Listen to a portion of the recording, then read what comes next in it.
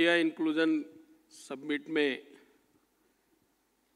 आप सबका हार्दिक स्वागत करता हूँ, अभिवादन करता हूँ, शीश झुका करके प्रणाम करता हूँ और देर से आने के लिए क्षमा चाहता हूँ। आपके यहाँ से जो व्यवस्था में हमको लेने गए थे वो कहीं गलती से रास्ता भूल गए और सेम रोड पर करीब पंद्रह किलोमीटर आगे ले गए और फिर वहाँ से सेम रोड पर वापस आए। उस कारण से परंतु मुझे और जल्दी आना चाहिए ताकि लेट नहीं होना था, इसलिए मैं आप सबसे क्षमा चाहता हूँ। मुझे बहुत खुशी हो रही कि सब आप लोग ईश्वरीय कार्य में लगे हैं। और ईश्वरीय कार्य जो करने वाला होता है, वो भगवान के रूप में देखा जाता है, माना जाता है। और आज नहीं तो कल जो ईश्वरीय कार्य कर रहे हैं, वो निशनी निश्चित रूप से पूजनीय होकर के इस जीवन में और इस जीवन के बाद में भी अमर होकर के पूजे जाते हैं, पूजे जाएँगे। सामाजिक न्याय और अधिकारिता मंत्रालय का उद्देश्य आप सब पूरा करने में लगे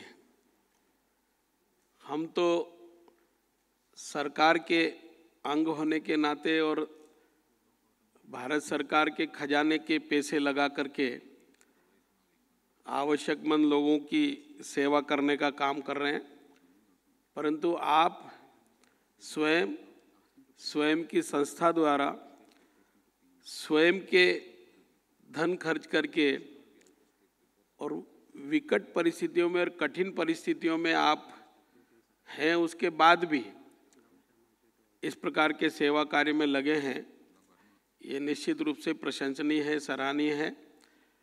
मैं आप सबकी सराहना करना चाहता हूँ, प्रशंसा करना चाहता हूँ। अभी भाई विनोद ठाकुर जी ने जो प्रदर्शन किया, वास्तव में मैं उसको देख करके अभिभूत हूँ। और मेरी मान्यता इस प्रकार की है कि निशक्त जनों में भी अनेक प्रकार की प्रतिभाएँ हैं। उन प्रतिभाओं को प्रदर्शित करने का अवसर देने की आवश्यकता है। और आप ऐसी प्रतिभाओं को अवसर देने का काम कर रहे हैं और निश्चित रूप से उनके जीवन को सफल करने में और उनके जीवन को सार्थक करने की दिशा में आपका अत्यधिक योगदान है। हम सबको मालूम है कि वर्ष 2011 की जनगणना के आधार पर दो करोड़ अड़सठ लाख के आसपास निशक्त जनों की विकलांग जनों की संख्या है। हालाँकि ये अथेंटिक तो हो गई, परंतु सही है, ऐसा नहीं माना जा सकता है। और ये भी विकलांगता का प्रतिशत 40 परसेंट से अबोव जो है, उसका है। और जो सर्वे के टाइम सामने नहीं आ पाए ऐसे लोग इसमें नहीं आ सके हैं, इसका मतलब ये है कि और भी अधिक संख्या है। और इन सबको मानव संसाधन का अभिन्न अंग मान करके सुदृढ़ता प्रदान करना, अन्य वर्गों के साथ बराबरी का हक दिलाना ये हमारा अपना कर्तव्य है। बहुत लोग सोचते हैं कि जिसने जन्म लिया है, उसको जीने का हक है, पर बहुत लोग ऐसा भी सोचते हैं कि जो कमाता है उसी को जीने और खाने का अधिकार है। पर ऐसा नहीं है। हमारी संस्कृति, हमारी परंपरा हमको ये कहती है कि जिसने जन्म लिया है, उसको जीने का हक है। और उसको जब जीने का हक है और वो शारीरिक दृष्टि से, मानसिक दृष्टि से, बौद्धिक दृष्टि से, आत्मिक दृष्टि से असंतुष्ट है कठिनाई है, में है, परेशानी में है तो उनको ये सब सुविधाएँ हमको उपलब्ध कराने की दिशा में अपना योगदान देना चाहिए। ये हमारी मान्य परंपरा है और संस्कृति का हिस्सा भी है और हमारा अपना धर्म भी हमको इस बात की प्रेरणा देता है। और इस प्रकार के कामों में आप लगे हैं, मैं फिर आपकी सबकी प्रशंसा करना चाहूँगा। मैं ये भी कहना चाहूँगा कि सरकार योजनाएँ बनाती है, परंतु योजनाओं को गाँव गाँव गली गली तक और जिनको उसकी आवश्यकता है, वहाँ तक पहुँचाने का काम या जिसको हक मिलना चाहिए, वहाँ तक उसको हक देने का काम केवल सरकार या सरकार के अधिकारी कर्मचारियों के बल पर संभव नहीं है। समाज में से ही लोगों को सामने आना पड़ता है, आना चाहिए। और आप इस काम को करने के लिए बीड़ा उठा करके ऐसी कार्य योजनाओं को कार्यान्वित करने का सहयोग दे रहे हैं, समर्थन दे रहे हैं, आशीर्वाद दे रहे हैं, मैं भारत सरकार की ओर से आपका फिर से अभिनंदन करना चाहता हूँ। संयुक्त राष्ट्र महासंघ में जिस उद्देश्य को लेकर के एक प्रस्ताव पारित किया, उसमें भारत का भी प्रतिनिधित्व है, भारत भी हस्ताक्षर करने वालों में से एक देश है।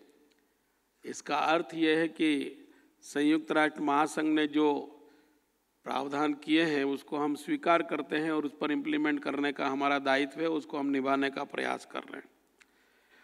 और उसको निभाने की दृष्टि से हमने कानून भी बनाया है।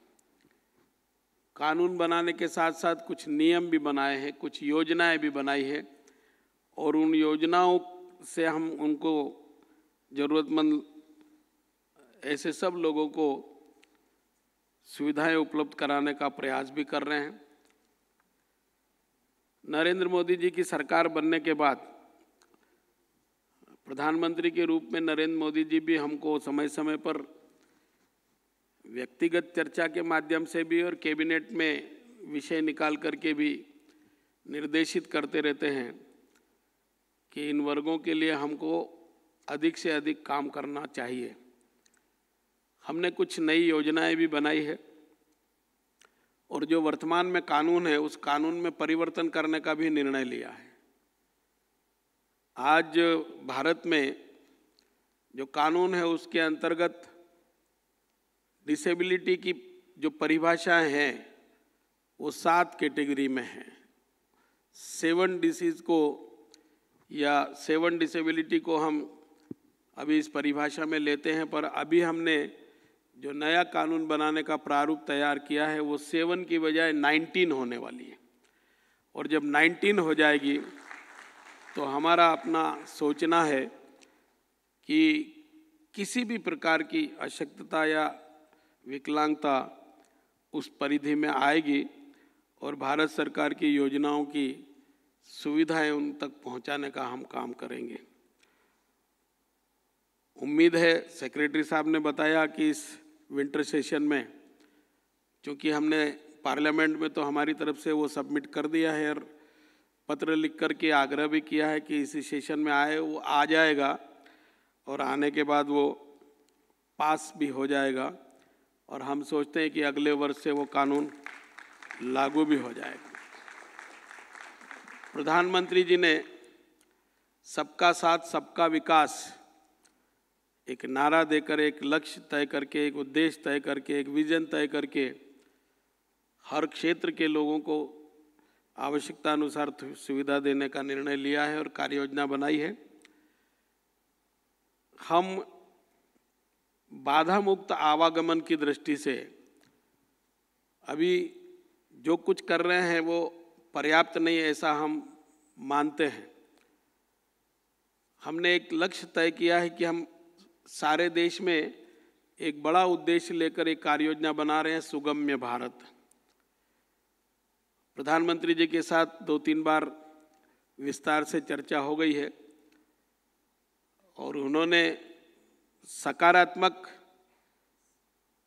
संकेत दिए हैं और हो सकता है तीन दिसंबर जो अंतर्राष्ट्रीय विकलांग दिवस है, उस अंतर्राष्ट्रीय विकलांग दिवस के दिन प्रधानमंत्री जी के हाथों सुगम्य भारत योजना का राष्ट्रीय स्तर पर सारे देश के लिए शुभारंभ होगा। हमने हमने देश के 50 बड़े महानगर और नगरों का चयन किया है और उन 50 बड़े शहरों में, प्रत्येक शहर में सौ सौ अर्थात हंड्रेड हंड्रेड बिल्डिंग ऐसी सिलेक्ट की है, जो बहुमंजिली है। वहाँ रैंप बनाना, रेलिंग लगाना और सुविधा युक्त शौचालय बनाना ये टारगेट फिक्स किया है। और जैसे ही प्रधानमंत्री जी के हाथों इस योजना का लॉन्चिंग होगा, हम कार्य योजना पर तेज गति से अमल करेंगे और आगामी एक वर्ष में इन पचास शहरों में हम इन बिल्डिंगों में ये सारी सुविधाएँ उपलब्ध करा देंगे। बस स्टैंड पर, सार्वजनिक स्थानों पर भी इस प्रकार की सुविधा देने का प्रावधान हमने उसमें किया है। इसके साथ ही साथ जो सुनते नहीं हैं, बोलते नहीं हैं, वो कॉकलियर इम्प्लांट एक चिकित्सा पद्धति है। वो सारे देश में निजी संस्थाओं के द्वारा या सरकारी चिकित्सालयों द्वारा प्रारंभ की गई है। परंतु पंद्रह लाख, दस लाख, ग्यारह लाख इतनी धनराशि खर्च होती थी। हमने पिछले वर्ष अंतर्राष्ट्रीय विकलांग दिवस अर्थात तीन दिसंबर 2014 को कॉकलियर इम्प्लांट की एक चिकित्सा सुविधा निशुल्क रूप से उपलब्ध कराने का प्रारंभ किया था और मुझे खुशी है कि लगभग 300 बच्चों के कॉकलियर इम्प्लांट की चिकित्सा सुविधा हमने उपलब्ध कराई है। और और खुशी की बात यह है कि सक्सेस रेट 100 परसेंट है। 300 बच्चों को ये चिकित्सा सुविधा उपलब्ध कराई है, वो सुनने लग रहे हैं और बोलना भी प्रारंभ कर रहे हैं। आपको वैसे इस योजना की जानकारी होगी। फिर भी मैं आपको निवेदन करना चाहूँगा कि सात आठ वर्ष से कम उम्र के बच्चों की अगर इस प्रकार की कोई जानकारी आपके सामने आए तो आप हमको एक पत्र भिजवा दें और उनका नाम पता, मोबाइल नंबर दे दें, टेलीफोन नंबर दे दें। हम आगे की कार्रवाई करके उनको चिकित्सा सुविधा उपलब्ध कराएँगे। छः लाख रुपए तक का खर्चा भारत सरकार की ओर से हम उपलब्ध कराते हैं। जैसे भाई विनोद ठाकुर जी ने बहुत अच्छा प्रस्तुतिकरण दिया, इस प्रकार के अर्थात 80 परसेंट से ज़्यादा विकलांग जो है, पाँव नहीं है है तो सक्षम नहीं है, खड़े नहीं हो सकते, चल नहीं सकते, हाथ के बल चलते हैं। ऐसे 80 परसेंट से ज़्यादा असक्षम या जिसको हम अशक्त कह सकते हैं या विकलांग कह सकते हैं, इस पर मतभेद है कई बार, परंतु जो अभी संयुक्त राष्ट्र महासंघ ने विकलांगजन परिभाषा दे रखी है, वही कह कर के हमने एक मोटराइड ट्राईसाइकिल बनाई है। फ्यूल की आवश्यकता नहीं, बैटरी से चलती है। पंद्रह किलोमीटर प्रति घंटे की चाल से उसको चला सकते हैं। सत्तर पिचहत्तर किलोमीटर चलने तक बैटरी डिस्चार्ज नहीं होती है।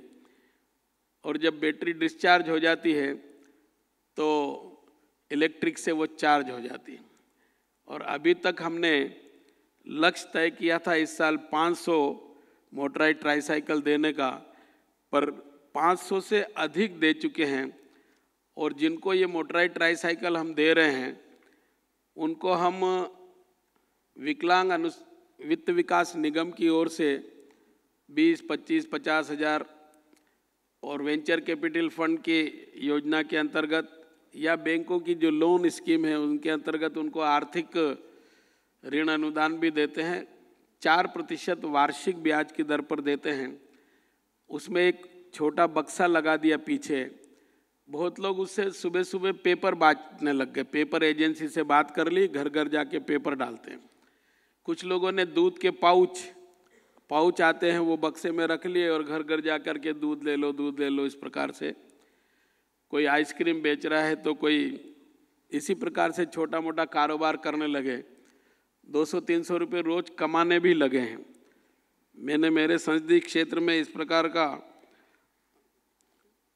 वो किया था, परीक्षण, और वो बहुत सक्सेस भी रहा है। फिर जो सुनते नहीं हैं, बोलते नहीं हैं, उनके लिए संकेत भाषा की पढ़ाई का भी प्रावधान है, वो भी सुविधा हम दे रहे हैं। जो ब्लाइंड है, उनको ब्रेल भाषा की पढ़ाई कुष्ठ रोगियों को भी, और इसी प्रकार से उनको बहुत सारी सुविधाएँ हम देते हैं। डेजी प्लेयर देते हैं, कंप्यूटर देते हैं, ताकि वो आधुनिक पद्धति से अध्ययन कर ले और सक्षम हो जाए। फिर हमने इस प्रकार के लोगों को ट्रेनिंग देने का, कौशल प्रशिक्षित करने का भी निर्णय लिया है।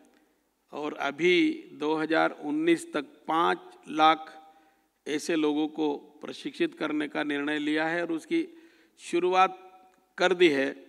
उम्मीद है कि हम अगले पाँच वर्षों में पाँच लाख लोगों का जो हमने तीन साल के लिए टारगेट तय किया है, उससे ऊपर बढ़ने का काम करेंगे। मेरे विभाग की ओर से बहुत सारी योजनाएँ चलाई जा रही है। अब मैंने आज तो वो बुकलेट में लाया नहीं हूँ कंपेंडियम वाला। मैं कोशिश करूँगा कि आपके एड्रेस लेकर के आप सबको भेज दूँ, नहीं तो वेबसाइट पर वो डाउनलोड है डिटेल उसकी जानकारी है। आपसे प्रार्थना करूँगा कि आप उसमें आपका कोई सुझाव हो, मार्गदर्शन हो तो वो भी दें।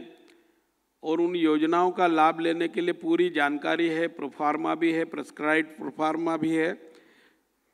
तो उनसे जो लाभान्वित हो सकते हैं, उनको लाभ दिलाने की भी कोशिश करेंगे तो बहुत अच्छी बात होगी। आज मुझे यह देखकर बहुत प्रसन्नता हो रही है कि एनेबल इंडिया द्वारा एनेबल एकेडमी का आज शुभारंभ किया जा रहा है। बहुविकलांगता मल्टी पल डिसेबल्ड को कौशल प्रशिक्षण देकर एक नई शुरुआत जो की गई है, पहले ही मैं प्रशंसा कर चुका हूँ, यह अत्यधिक सराहनीय कार्य है।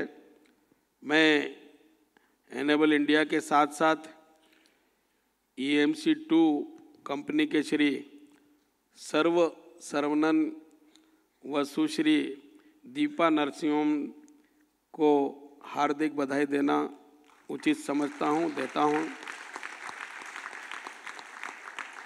मैं अजीम मैं अजीम प्रमजी फाउंडेशन को बधाई देना चाहता हूँ, जिनके द्वारा एनेबल एकेडमी को स्थापित करने में सहयोग दिया गया है। मैं यहाँ Cisco Mico Bosch SAP labs को भी नई तकनीक के विकलांगों के इस्तेमाल में लाने के लिए सहायता देने पर बधाई देता हूँ। और भी और भी और भी बहुत सारी संस्थाएँ यहाँ हैं। मैं सबका नाम लिए बिना सबको हार्दिक बधाई देता हूँ, शुभकामनाएँ देता हूँ। उन संस्थाओं का और संस्थाओं को जो संचालित कर रहे हैं, उनके उज्जवल भविष्य की कामना करता हूँ। इस प्रार्थना के साथ कि आप हमारा मार्गदर्शन भी करें, हमको सुझाव भी दें और भारत सरकार की जो योजनाएँ हैं, उनका लाभ लेने के लिए भी संस्थागत और व्यक्तिगत भी आपकी अपनी जो इच्छा है, उससे मुझे अवगत कराएँगे। तो निश्चित रूप से भारत सरकार भी इन कामों में पूरी तरह से सहयोग देने के लिए तत्पर है, तत्पर रहेगी। जैसा मैंने कहा कि सरकार की योजनाओं पर इम्प्लीमेंट केवल सरकारी अधिकारी, कर्मचारी के बल पर संभव नहीं है। समाज के प्रत्येक अंग की उसमें अगर भूमिका होती है तो जल्दी सफलता प्राप्त होती है। आपका सहयोग, समर्थन और हमको आशीर्वाद मिलता रहेगा ताकि हम जिस विजन को लेकर के कुछ प्रयास कर रहे हैं उसमें सफलता प्राप्त कर सकेंगे। मैं विनोद ठाकुर जी को निवेदन करना चाहूँगा कि वो अपना नाम पता और बैंक का अकाउंट मुझे दे देंगे। तो मेरे मंत्रालय की ओर से मैं उनको जो भी संभव होगा आर्थिक मदद देने के लिए सम्मान स्वरूप कुछ देने की कार्रवाई करूँगा। और भी और भी इस प्रकार के यहाँ कोई बैठे हैं और कोई प्रतिभा का प्रदर्शन करेंगे। उनके लिए भी जो विनोद ठाकुर जी के लिए कह रहा हूँ, वही बात लागू होगी। वो भी अपना नाम पता और बैंक अकाउंट की जानकारी देंगे तो मैं सहयोग करने के लिए तत्पर हूँ। तो बहुत बहुत धन्यवाद। देर से आने पर एक बार फिर से क्षमा चाहता हूँ। जय हिंद।